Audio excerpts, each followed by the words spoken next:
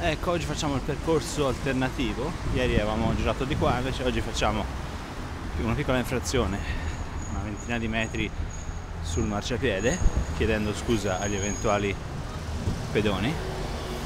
E poi questa che è la strada che io normalmente faccio tutti i giorni.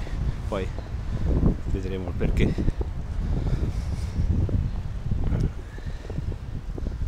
Questo è un percorso che io ho studiato su Google Earth. E effettivamente è quello più veloce e diretto. Qui questo è tutto un percorso diretto fino a Piazza San Marco senza intossicazioni di 5 minuti Piazza Libertà. Qui sta attenti. Ecco questo è il percorso appunto incriminato dove la polizia ha fatto i verbali settimana scorsa come vedete ci sono tanti ciclisti perché è una validissima alternativa al percorso di Piazza Libertà. Credo che sia una lunghezza di 3 minuti circa.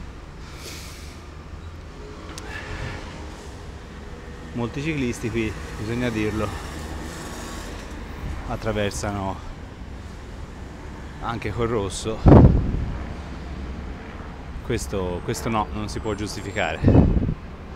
Però l'uso della pista della corsia degli autobus in alternativa alla pista ciclabile a quella pista ciclabile io penso che sia una cosa che ogni cittadino che non emette monossido di carbonio recandosi ecco recandosi al lavoro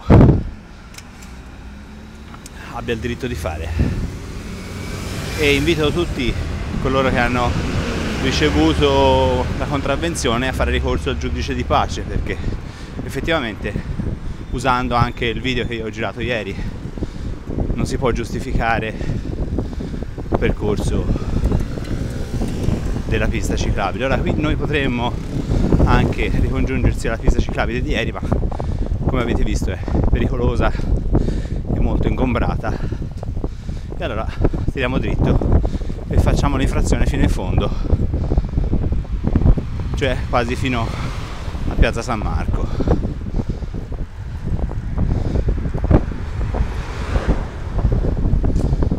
Mi auguro che il comune voglia valutare anche di rendere questo percorso compatibile anche alle biciclette, perché no? Non penso, io adesso non sto rallentando nessun autobus, non credo che il problema sia così drammatico. certo ci sono ciclisti più lenti questo lo spazio è tanto qui in fondo tratta di una delle, delle varie convivenze possibili in un ambito di circolazione. E eccoci in piazza San, quasi in piazza San Marco. Ieri ci abbiamo messo 8 minuti ora io non lo so adesso ma saranno questa è la corsia farsa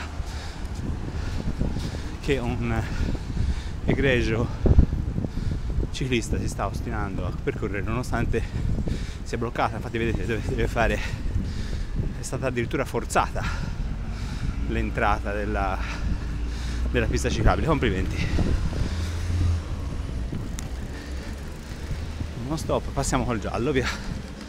Giusto per dimostrare che siamo già in, in zona pedonale saranno passati sì no tre minuti credo